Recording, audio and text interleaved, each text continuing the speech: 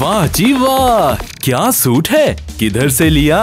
अब हर कोई ऐसा ही बोले, जब आप खरीदेंगे अयान क्लॉथ हाउस के शानदार ड्रेसेस विंटर कलेक्शन अब गरम सूट, चाहे मर्दाना हो या जनाना, मिले कम रेट पर।